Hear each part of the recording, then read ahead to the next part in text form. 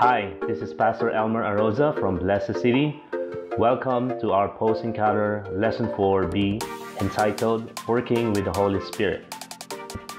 I would like to take you to Genesis chapter 17, verses 1 and 2, and it goes like this When Abraham was 99 years old, the Lord appeared to him and said, I am God Almighty. Walk before me faithfully and be blameless.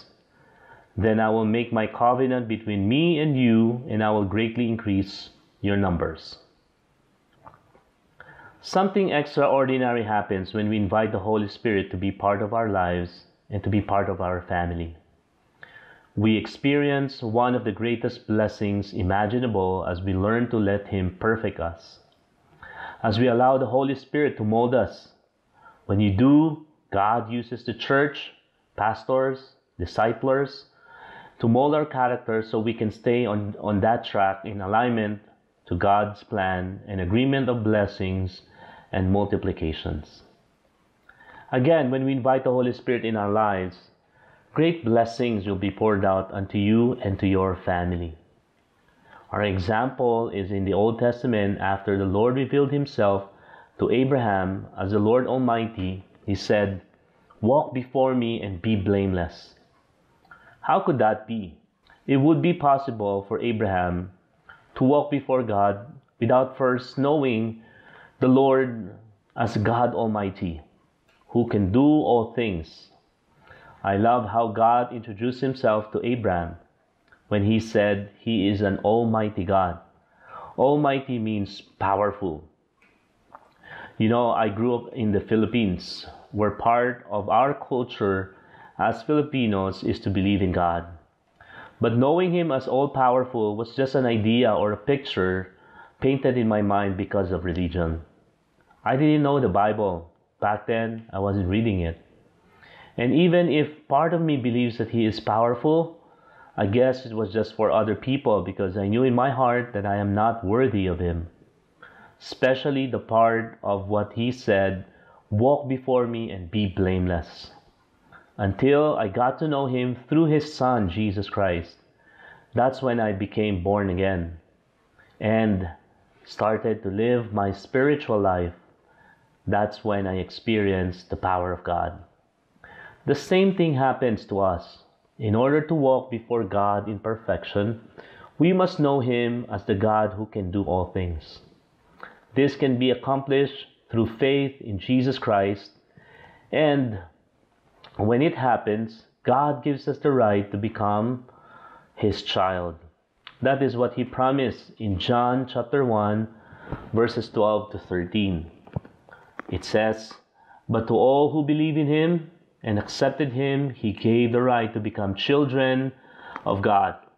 They are reborn not with a physical birth resulting from human passion or plan, but a birth that comes from God.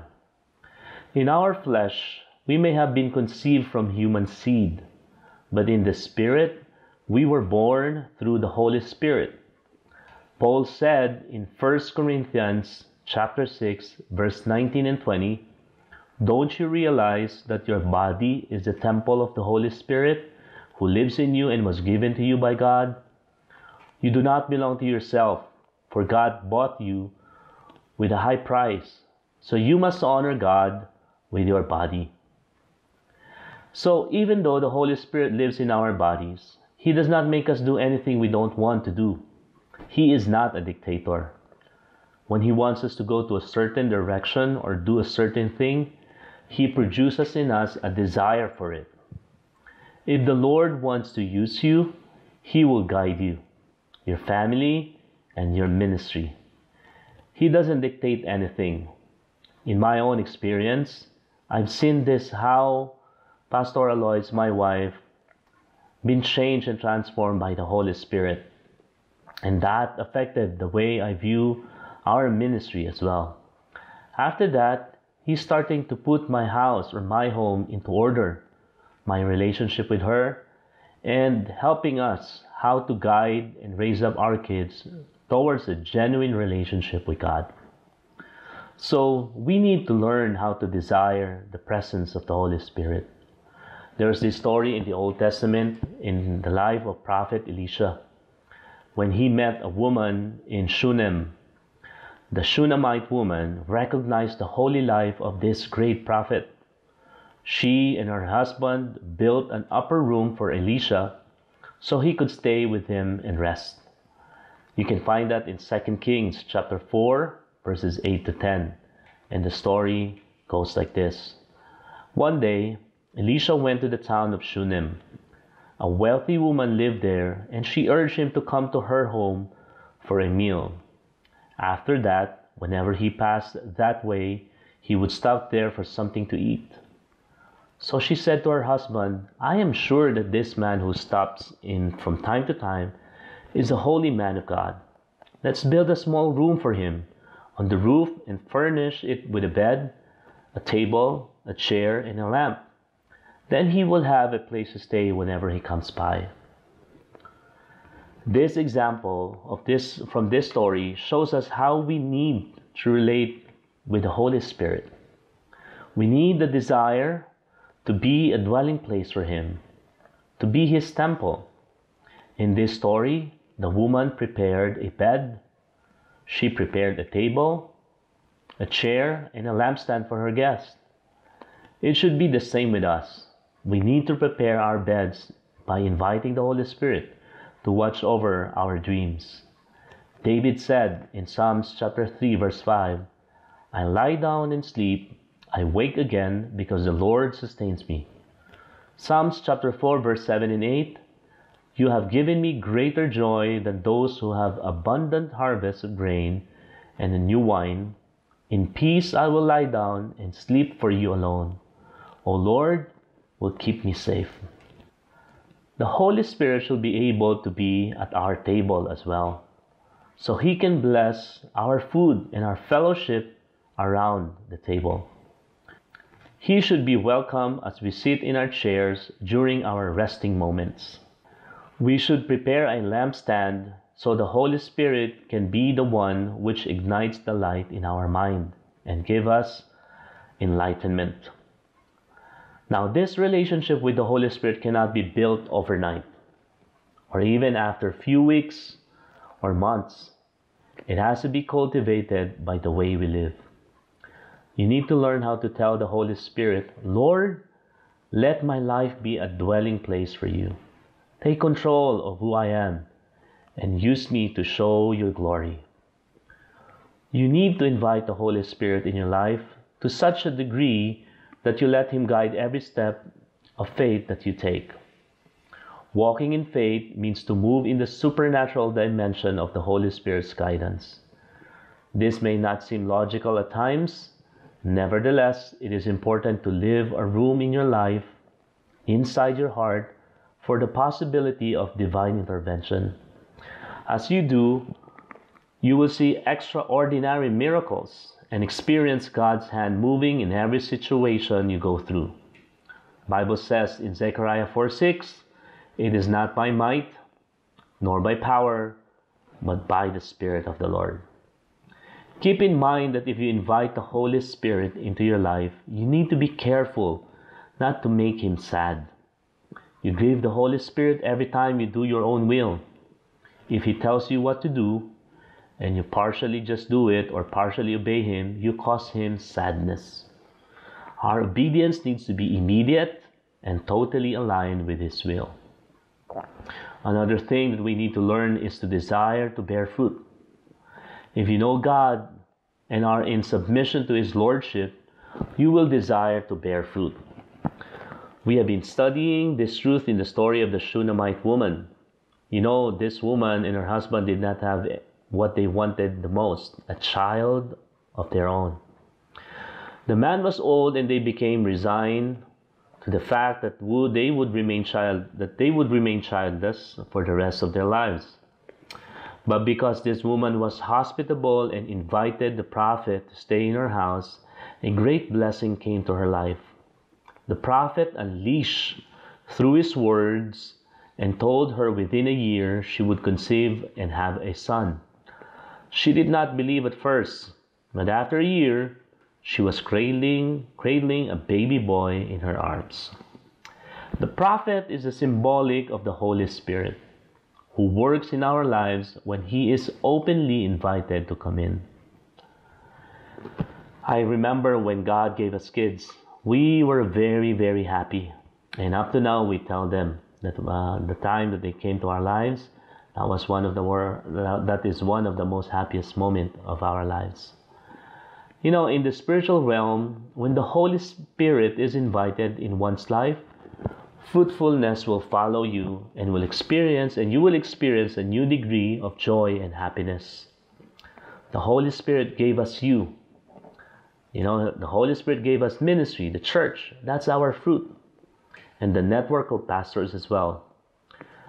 I want you to believe that you will be fruitful in many areas of your life as you learn and as you begin to desire to be a vessel, an instrument so that other people will find their way back to God through you by the power of the Holy Spirit. All cell leaders and those who desire to become cell leaders, it is only through the Holy Spirit. That's why you began to bear fruit and learn to take care of others. Another thing that we need to understand as we develop this working and friendship relationship with the Holy Spirit I want you to expect that there are miracles in His presence. Our story continues with the Shunammite woman who experienced a great loss and who needed a miracle. Sadly, one day her son promised went out to the field with his father, but he was struck down, probably a sunstroke, and he died in his mother's lap. With heavy pain in her soul, she approached the prophet and she wanted and pleaded the prophet to bring his son back to life. She knew that God's servant had the answer and she didn't want to leave him until she got her miracle from God. You know, her exact words were recorded, it was recorded in 2 Kings chapter 4 verse 30. She said to the prophet, As the Lord lives and as you, as your soul lives, I will not leave you. She was very certain her son was going to live again, and she would not let go until her miracle came. You may be in a situation where the one thing you love the most is now gone. Maybe a relationship is dead, or you're in financial crisis, or inside you you feel torn apart. Whatever your situation is, you must hold on to the Spirit of God and tell Him, Lord, I will not let you go until you bless me. You need to invite the Holy Spirit to come in and give life to all things you feel that are dead. Just like the Shunammite woman asked Prophet Elisha to raise up her dead son. Elisha prayed to the Lord and covered the child's body with his own body until the Lord brought the boy back to life. For us, the implication of this story represents this God has to cover your mouth, your eyes, and hands because that is how you will start warming up again. God has to bring a burning coal to purify your lips and sanctify your words. Your eyes must see what is righteous. If you have noticed contamination in what you have been looking at, you have to ask God to forgive you today. The Spirit of God then will purify you by opening your eyes of faith so you can take salvation and bring its message to the nations of the earth. He will heal your hands. You may have mistreated, hurt, and rejected others with those hands, but today let the Lord sanctify them. The Spirit of God will come to your life and you will start feeling something inside you changing. Three steps to live with the Holy Spirit. Number one, have purity of heart. You need to be certain that your sins were cleansed and the wickedness of your past erased from your life. Then, with a pure heart, you will be ready to receive the Holy Spirit. There should not be any vestige of impurity in your life that would block the Holy Spirit's entrance to your heart. Second, you need to ask you need to ask the fullness of the Holy Spirit.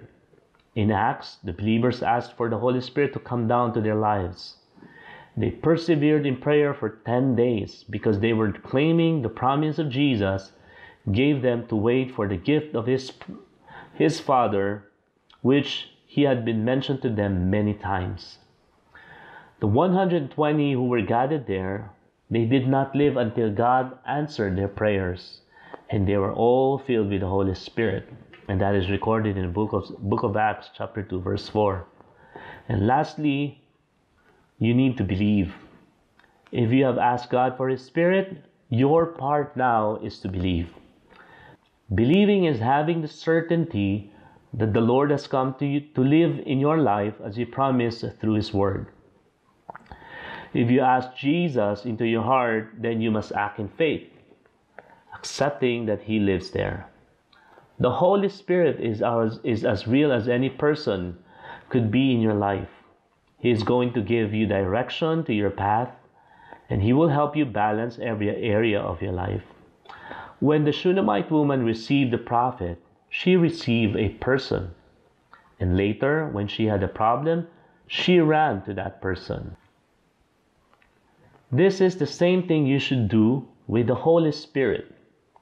Run to Him and believe Him. Again, having a genuine and real relationship with the Holy Spirit allows you to experience amazing miracles. In application, I would strongly encourage you to continue and set a special time that you will spend with God. Guard your devotional time.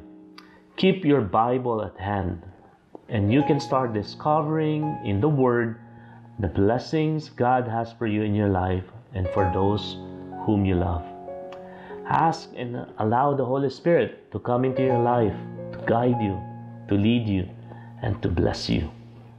Again, this is Post Encounter Lesson 4, Pastor Elmer Arosa from Bless the City. Let's pray. Lord Jesus, thank you for your word. Holy Spirit, I invite you to dwell to those people who have watched this video training. I pray that you empower them. I pray that you create a desire for them to have partnership and deeper relationship with you. Lord, teach them to believe. Teach them to walk by faith so that they would see, O Lord, the great things that you have prepared for them. Father, thank you so much for the Holy Spirit is a fulfillment of your promise. He is the power that moves in our lives. We give you glory, Holy Spirit. Thank you that you have introduced Jesus Christ, our Lord and Savior, into our lives. In Jesus' name, amen. God bless you.